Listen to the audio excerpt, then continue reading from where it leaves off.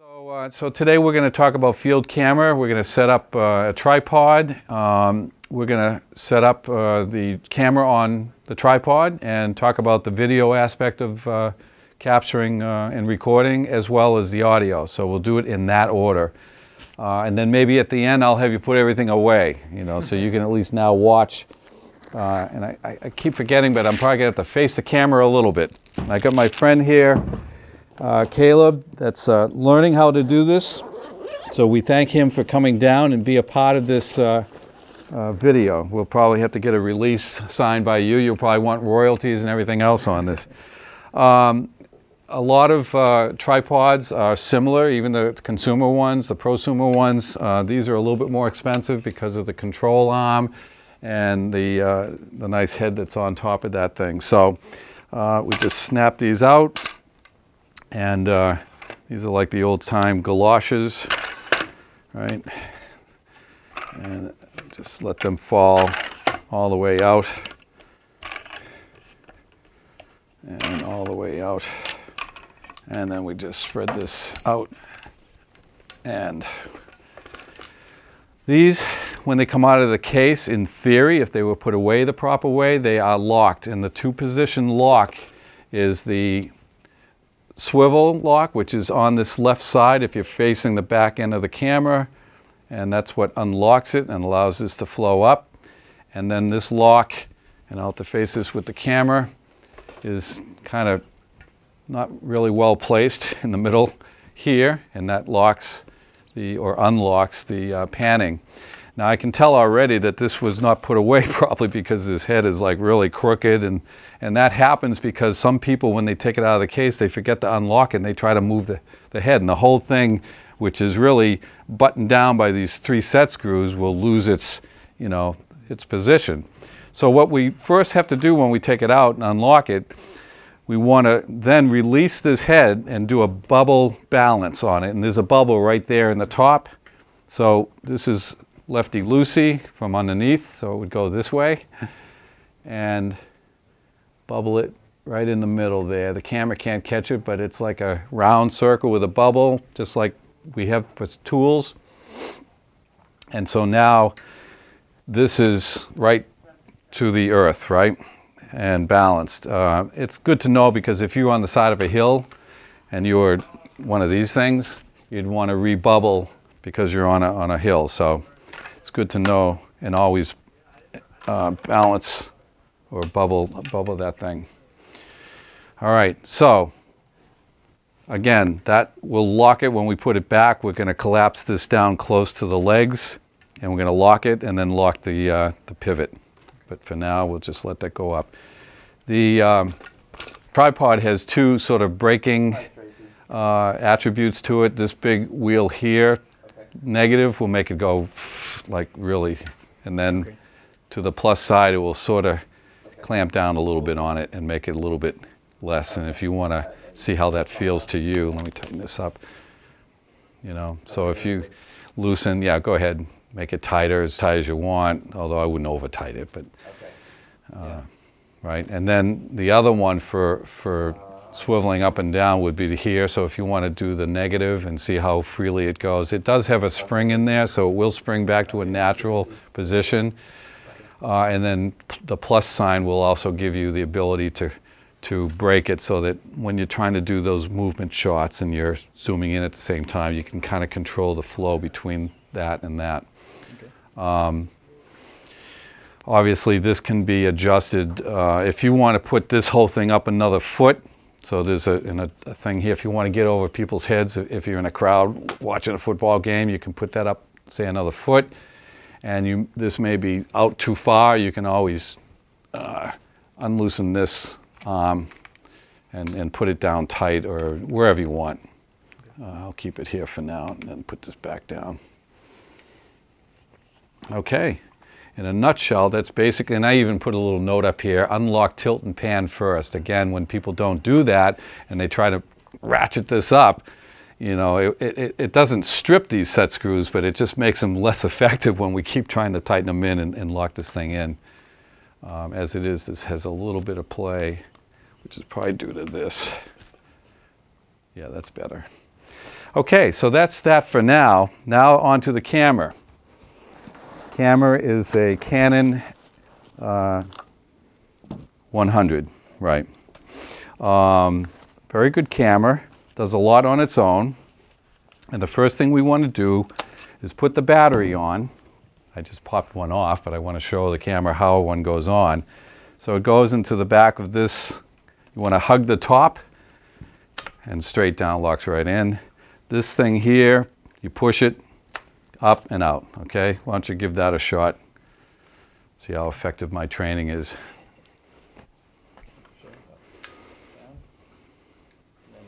Yeah, it's, you gotta get the right hands. Okay, why don't you throw it back in because we're gonna keep it in this time. All right. The camera gets mounted on this head here uh, from the back to the front, not from the front to the back. So facing the back, and you can tell the back because that's the control arm. You want to make sure that this tear-shaped knurled uh, knob is loose, and this button is sort of a release button. You want to push it in and then slide this in like that. If you release it, it will still move. It's not, it's not going to keep it in place. It's just to allow it to slide right in. And to lock it, you need absolutely, I can't emphasize this enough, but you want to tighten that, that tear-shaped uh, knob there. And then once you got that locked in, you can go anywhere with it and not have to worry about it. All right, and then the opposite, right? So when you loosen that and then push, push that out, pull it out the back and you'll be all set. Uh, this control arm controls, well, what we use it for, controls a lot of things, focus and all kinds of things, but we mainly use it for, uh, you know, Zoom. zooming in. I was going to say tele, tele, what's the other word for it? Telephoto. Telephoto, right. But we use it to zoom in and out versus using this one up here. If you were to hand hold this thing, if you were using your body as a, like a tri, you know, tripod or walking around with it or whatever, you could use this.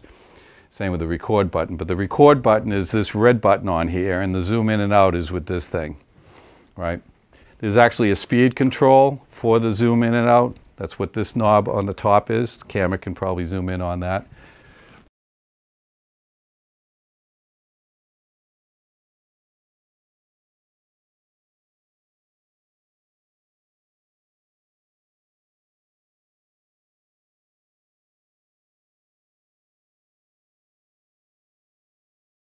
And then this connects to this little teardrop shaped uh, cap and you open that up just like that. It runs from the battery of the camera and the reason why it's not on is because we haven't turned the camera on yet. So that's the next thing we're going to do. I'm going to tighten this up so it doesn't drop down. So this is the on-off button. The camera probably zoom in on this thing. So it's a three-position uh, button. It's right now in the middle position, which is off. All the way forward is uh, the camera uh, record mode position, and then all the way back is playback, essentially. Because these cameras, they don't use tapes. They are, uh, there are two uh, cards in them, and I'll talk about that a little bit when I open this up. So um, you can tape and play them back like a VCR by selecting the various little thumbnail images that you'll see on the screen. Uh, so I'm going to turn it on, just slide it forward, right? It'll sort of boot up a little bit, and then you'll see the lights kind of come on for that control arm because it's taking the energy from that battery. And because there's no moving parts like we used to have in our old tape machines, uh, the batteries last an awful long time, uh, which is nice because you know, the only thing that's really driving the energy is anything that's lighting up and the, the LCDs or LED screen here. And that's how you just open that up. There's no button you push or something, it just opens up, you know, and, and of course you can use it backwards and frontwards if you're in front of the camera yourself. And so um, right now, the two cards in, are, are in here. They're, they're little compact flash cards, you know, the little postage stamp size. Mm -hmm. Each one, I believe, is 32 gigabytes. And at the high resolution uh, bit rate that we have them set at, we can get 114 minutes out of each card, which is almost two hours out of each card. And when it exhausts one card, it automatically flips to the other card and it's seamless. In other words, you would have almost over three and a half hours of, uh, uh, you know, continual. if you left it on, you know, and uh, that's nice about these things. Um, so, what do we need to do next? We need to probably take the lens cap off, right? People always say, I can't see anything through that, so there's just pinches and pulls right off. And now we should be able to see an image. And so if you want to, this is sort of pressure sensitive too, so you can kind of, if I always leave the speed all the way up because you can kind of control the speed a little bit with how much pressure. So try to try to do that back and forth. You'll kind of get the the idea, and our camera can probably capture what's uh, going on on that screen. So you can kind of have some good control over speed. Uh, but I guess if you were zoomed way in on something and wanted to control the speed even further, you would have a dial there that you could dial down the speed of that uh, zoom, which is nice. Uh, on off for record is this red button here, appropriate color for that, although on the camera it's black, right? So if you were to hold the camera and look for a red button, you wouldn't find it. That would be the on off for the, or, or the record and pause, I should say uh, but it's handy to do it with this one here. Uh, for this training, we recommend um, that people just take them. They're on automatic everything right now. And turn them on, and as you can see, uh, it adjusts very well on its own to, to light. If I were to shut a couple of these off, it probably would do pretty well. Um, I don't know, might, might iris up a little bit, perhaps. Well, I'm still facing, if we come over here, it might even, well, that's, yeah, look at this. If this, Our camera won't see this unless I do this. But, but it's pretty dark over there, and it's already, you can see the chairs, yeah. right? So it, it works pretty well on its own. Uh, so we recommend that so people can just pull them out of the case, set them up, and go. You know, a lot of times if you're doing a football game or doing something, you just want to get the thing going. So I don't spend a lot of time on any of the manual focus or manual iris or uh, you know white balance and things like that. We leave them on full auto, which is that switch there. If you did want to do something with manual, just put it on manual, and you can. You've got the focus ring here, or you can set this to do focus. Um, and Iris is just buttons. And I also want to say that we do provide the little instruction book in each kit. This is a kit, the camera case, and the tripod is considered a kit. So we have the book here, and as intimidating as that looks, right? Big thick book because I can't stand reading.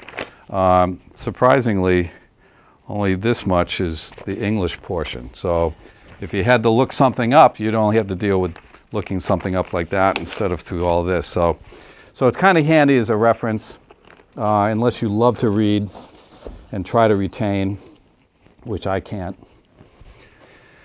So it's about now when I start talking about audio because I think that takes a good amount of time. Audio, I think, is always sort of um, misunderstood, and, and people don't always concern themselves as much with audio because um, frankly, people figure, well, if I can hear it with my own ears, you know, how can it be come out bad? Well, it can because the camera comes with an onboard stereo microphone, right, which is nice. It's pointing this way.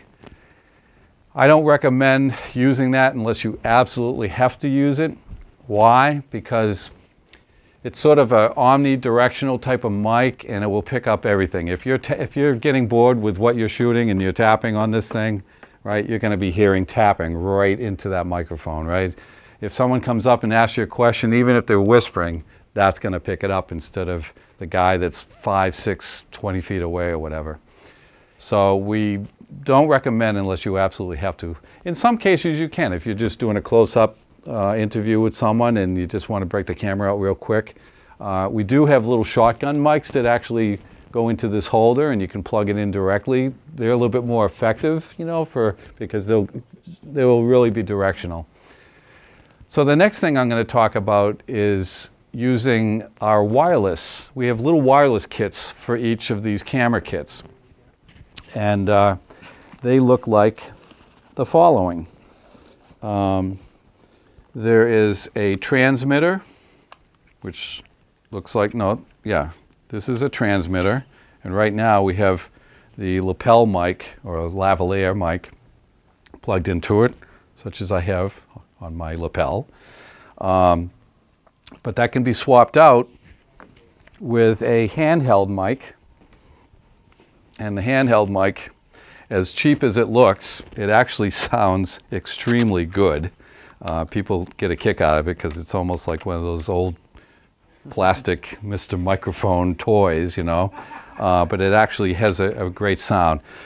Uh, the handheld is good for, you know, you're interviewing someone and you're doing the back and forth thing with them, just like on the newscast. Um, the lavalier is uh, good for just you walking around, a camera guy is following you, and you're just talking with your hands free. I mean, that's as basic as it gets. There are two channels, um, and it comes with two channels so that if one of the frequencies is getting some interference from something, if you're near an airport or something, uh, you can just switch it to the other uh, frequency on both sides, not only just the uh, transmitter, but also on the receiver side. Uh, and, and this is the uh, receiver end.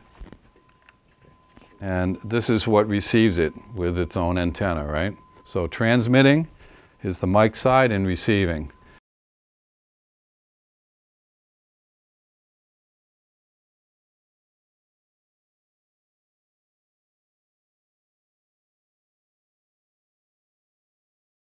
How does this go on the camera? Well, there's a little shoe or plate area up there, you know, where normally a flash might go, right? So you could just slide that, make sure this is kind of loosened up, and that slides right in, and you just tighten down that little knurled knob there, kind of stays put. They always give you more wire than you really need. I just sort of wrap this around so it's not like drooping down in front of things. And this gets plugged in to this red mini plug input. I know Mark is going to try to zoom in a little bit on that. And that's all there is for setting up that, except for what I'm about to show you. First thing I want to do is turn this on. And um, I'm going to turn it on frequency 2 because I'm on frequency 1 for this video so frequency two, if I face this down, is all the way over, okay? And the frequencies are on the top. And with this thing here, I'm going to put this on frequency two, and hopefully there's no, no interference. I'm getting the, the thumbs up, so why don't you hold on to that while I'm explaining a little bit about this part of it. Keep wanting to get in front of the camera here. So we have a little two-channel mixer. That's what I like to call it, right? You know, a mixing board, you can have like a nice 16-channel mixer. This is a nice two-channel mixer. I open that little cover up there, and um, we have some options. Um, the very top switchable options are A and M. A is automatic and M is manual. We recommend uh, automatic once again because it will it will um, it will limit and it will expand depending on the signal it's getting from the person, right? So it doesn't, if someone's not talking quite as loud, it might help that. And if someone's talking too much, it sort of compresses that a little. So it's nice automatic, at least for the handheld. With the lavaliers, the signal isn't quite as strong, so sometimes I don't put it on automatic. I actually use manual, and I'll put this over. I won't do it now because I'm on automatic with our uh, recording. But if you use it in manual mode, M, then you can, these input gains, there's, there's, there's knurled knob volume controls, if you want to call them, at the top that you can kind of see. Our camera might be able to get in there and see that. Very, very small, flat knobs that, that turn, and they're numbered 0 through 10. So obviously 10 is going to be a louder signal input than 0. And with the headset, and I'll show you where that plugs in in a moment, and with the little VU meters, uh, you'll be able to tell sort of where the sweet spot is if you do it manually. That sometimes helps. The next level down is a line level input versus a mic level input and a mic with a plus 48 V, 48 volts. Line uh, level is, you know, like instruments, like if you plug a keyboard in or something like that. Mic is obviously mic. We typically always have them on the mic setting. The mic with the plus 48 volt is for microphones that need power. We call that phantom power. So we give it 48 volts of juice through this battery, right, in order for the microphone to, to have power. Um, not really used that often unless we plug in a uh, microphone through these XLR connections um, that require phantom power. These particular wireless don't. So that for the wireless, they can be on the mic setting. The next one down is internal versus external. Internal is this uh, microphone that's built into the camera and it's also what you plug into this thing. It's confusing because these XLRs are for external microphones, right? A, a, a, mic cord essentially plugs into that. And you would think, well, if, some, if something gets plugged in there, why wouldn't that be external? But it's not. It's considered, if I'm not mistaken, Mark, this is considered uh, an internal mic, even though we're plugging something in externally. Um, but, and we'll talk about this in a moment. So those are for, you know, which type of audio you're going to go with. And so right now, for our purposes, this is internal.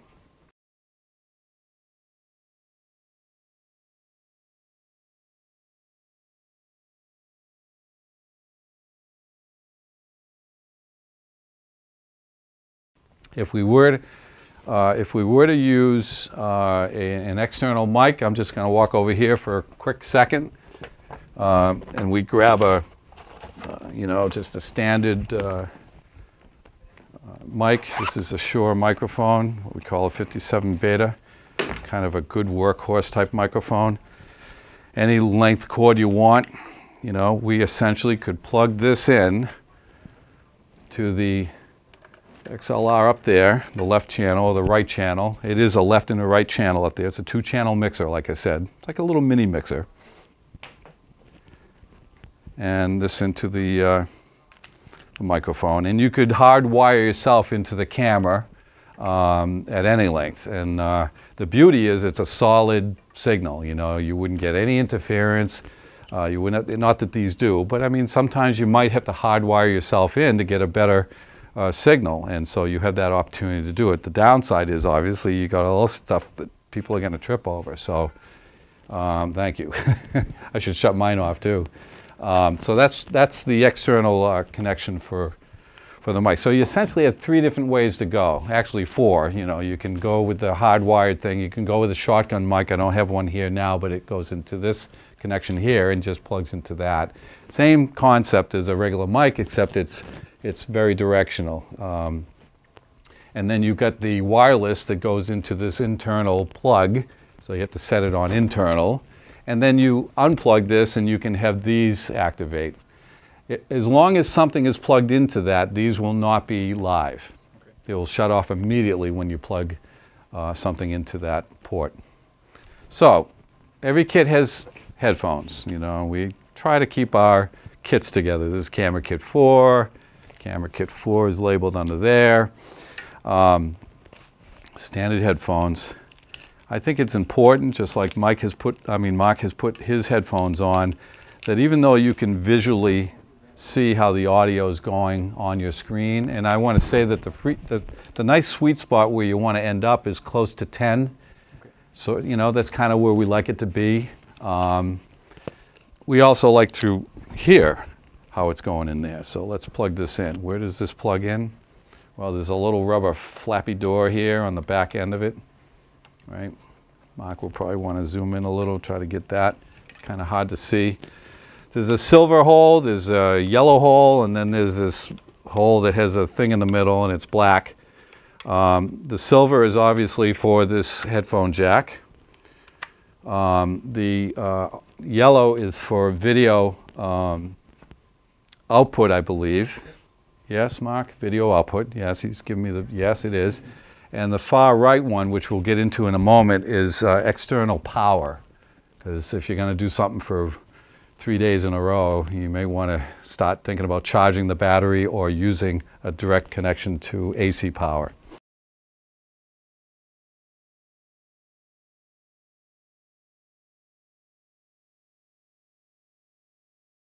Put these on, you can hear yourself. Surprisingly, that microphone, that plastic, cheap-looking microphone, is is a very warm uh, directional mic. It's very close sounding. Now, Yeah, talk one, two, three. Just do some talking. One, two, three. I'm going to unplug that system and go with just this external or this internal camera mic, right? Big difference, right? Sounds roomy, Yeah, not as close sounding. So you kind of get a feel for, well, I think I'd rather go with that if I'm interviewing people or the lavaliers. So I'll plug this back in and all of a sudden it will sound, and I, if you want, Yes, testing one, two, three, four, five, six, seven. My wonderful voice sounds very close and sounds warm and and uh, and not sort of hollow and ambient and everything else. So, for for you know something that looks like that, they actually do pretty well, and they've got a pretty good range too. I mean, you could walk. I could probably walk down to the men's room and it's, it'd still be like as if I was right in front of this camera. So you can see by looking in the viewer that, you know, if I'm standing here and I'm doing that newscast that I know you're dying to do, uh, visually it looks good and I got the good audio. And audio, I think, is just as important, if not more important. You can have a great image, obviously, but if it has poor audio or weak audio or, or, or lousy audio, um, it really makes the whole viewing experience awful. So really pay close attention to audio and try different things. We encourage people take the camera out, take it home, play around with it, shoot some things, kind of play it back, listen to it, uh, play with these things or the or the onboard mic or whatever and see the differences. Okay, let's talk about any questions about audio. Yeah. Um, Oh, good. um, these two knobs for the the manual audio. Um, is there a difference?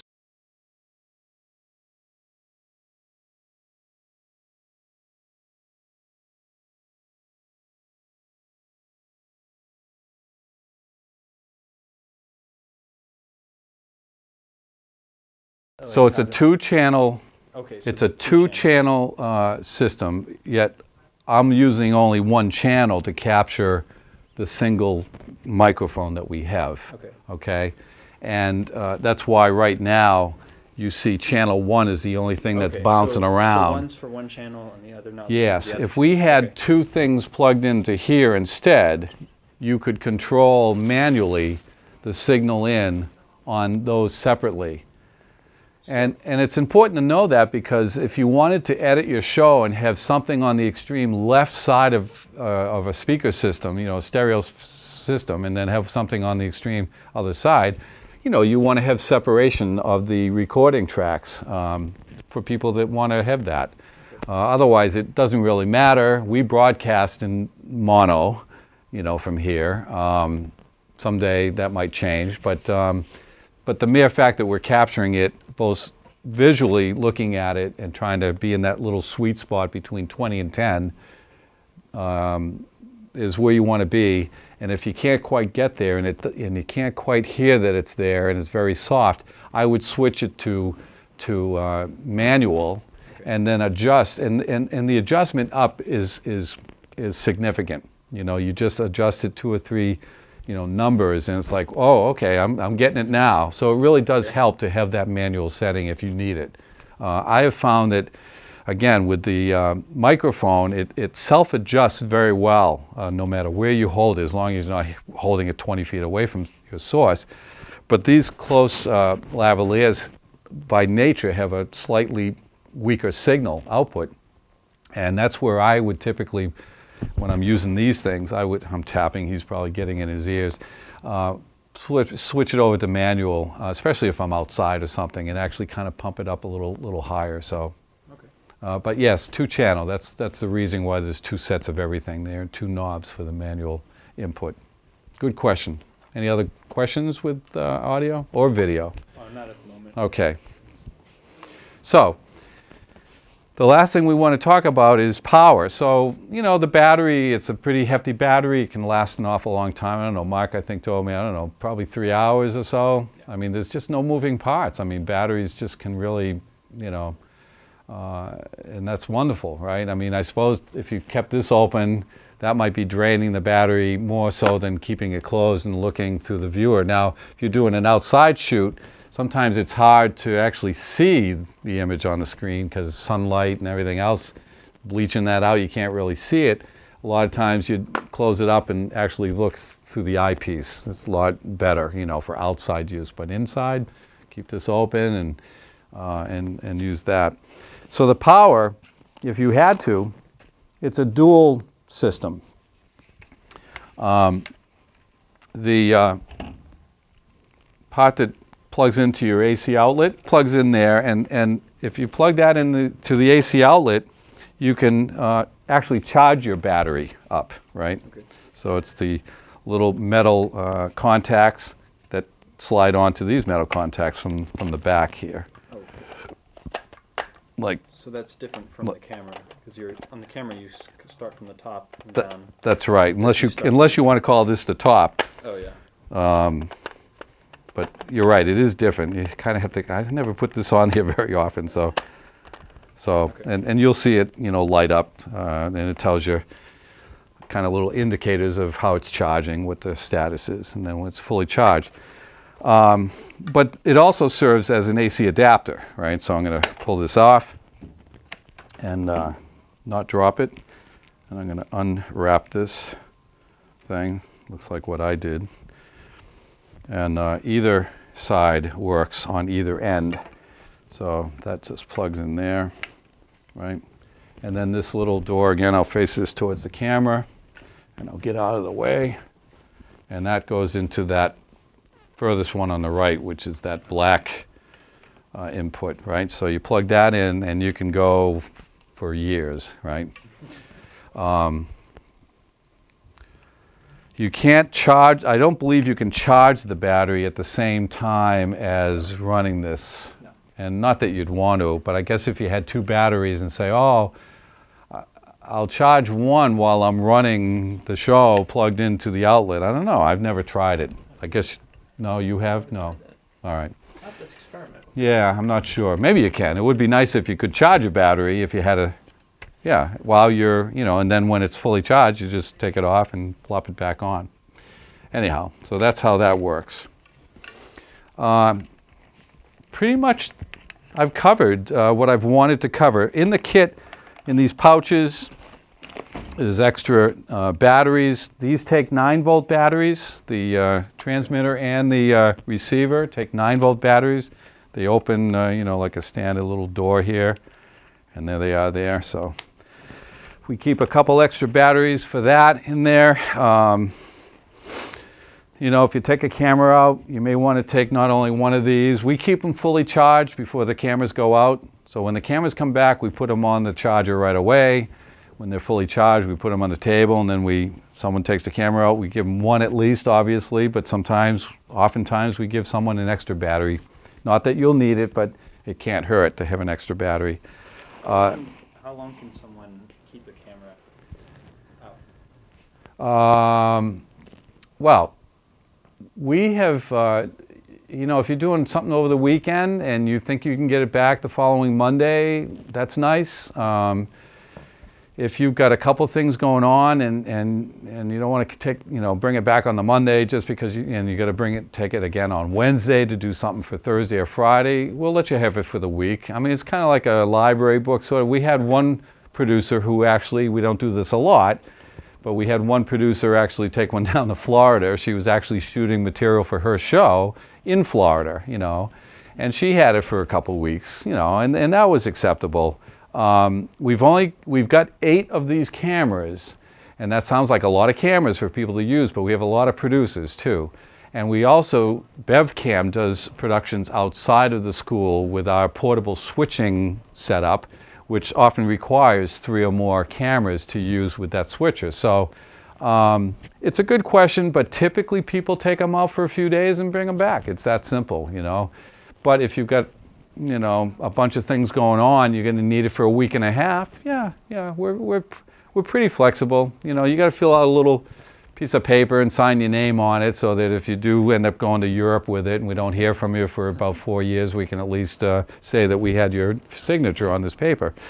Um, um, I think that's it. I'm going to ask my cameraman, Mark Lehman, who's been so patient videotaping all of this. Oh, I said videotape, video recording, video recording this. Um, if there are any questions, Mark, did you think I left much out of this?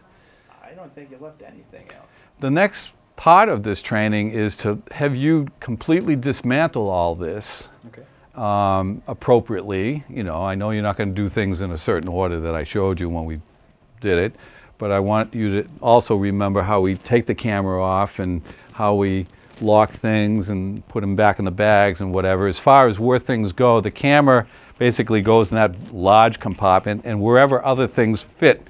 We don't have uh, specific areas, but wherever they fit well enough. So with that, it's the camera is still on, and the lens cap is still over here. Not to give you any hints, but um, you can now have at it. And I'm going to step out of the picture.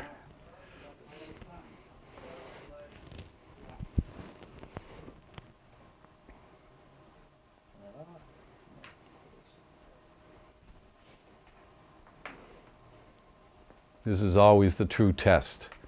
Someone who can put the thing away.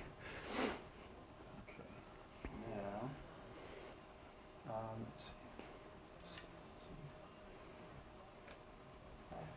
Extremely important. A lot of people forget to turn the devices off, and uh, when the next person takes the camera, uh, the wireless kit doesn't work, and they uh, have to change the battery out. So that was uh, very good that you did that. This goes.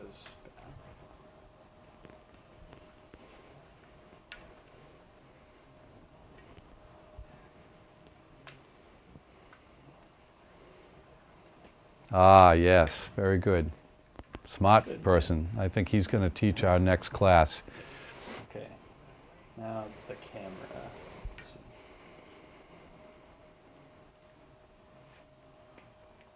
And push this in. Camera. Okay. One thing, one little demerit. Yes, so we have a check. Well, that, No? yeah, yeah, you can take that out, absolutely.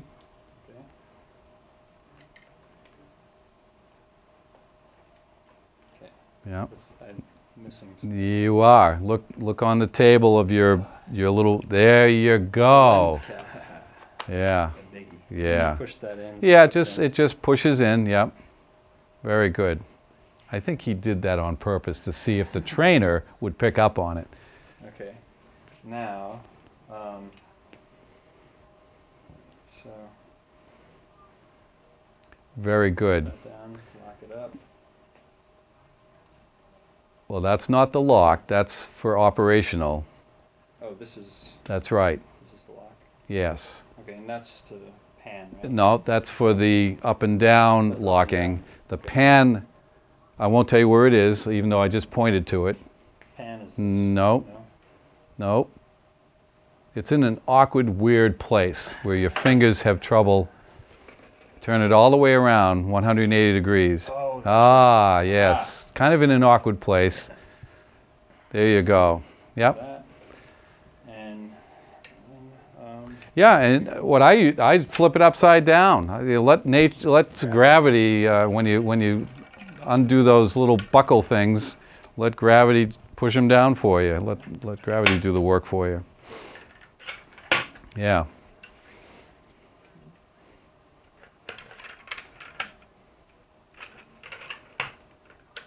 There you go. Excellent. okay.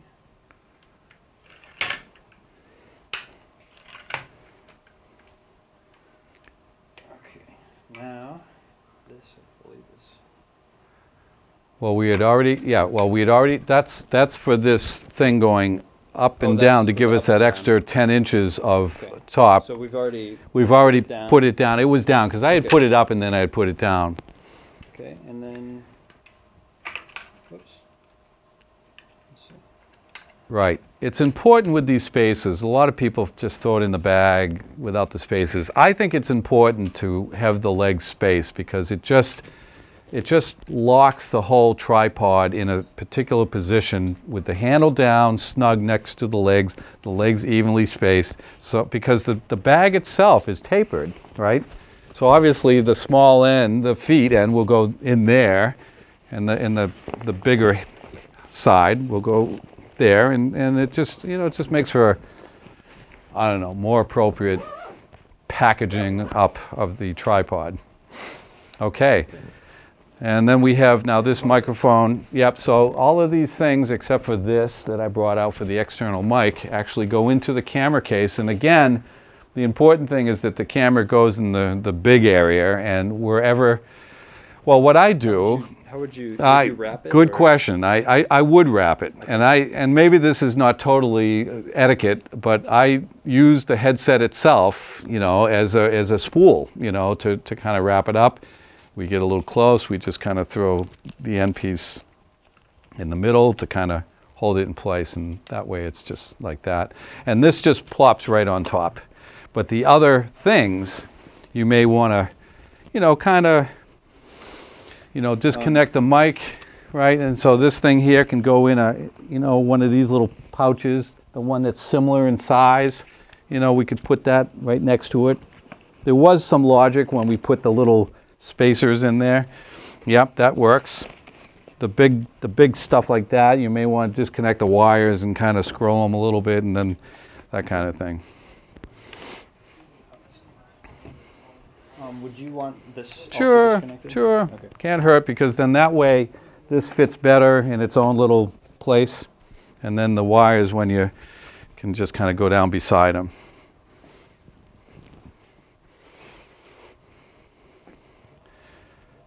That uh, lavalier can go in any any available. Yeah, anywhere is fine. Yep. Yep. Yeah, very good.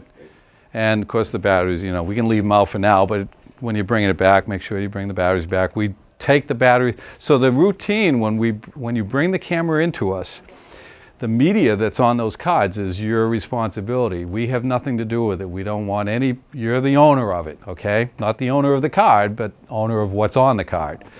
So when you bring the camera back, we kind of check, make sure everything's in there. We put the batteries on the charger right away. That's our process. And we take the cards out and we ask you, what do you want to do with this media? There's a lot of files here. They're computer files, right? So they're raw media for, for video and audio. So uh, oftentimes uh, we offer a, a external hard drive that we can create a folder on that hard drive and put the raw material on it for you. Oftentimes you might have your own little uh, USB drive that you buy at Staples, you know, for 50 bucks and put the media on there and work on the project at home. Um, we offer the editing, which I think you're going to take a little one-on-one course with me after you do some sh- shooting, and and uh, and we'll work. It's always best to do some of that training with with video that you've taken. Uh, then we'd put it on a hard drive here at the. But a lot of uh, some of our folks like Mark, uh, you know, he's got his own drive. He takes his own media. He's in control of it. We cannot be responsible for that media, and we get enough of our own to be responsible for. So.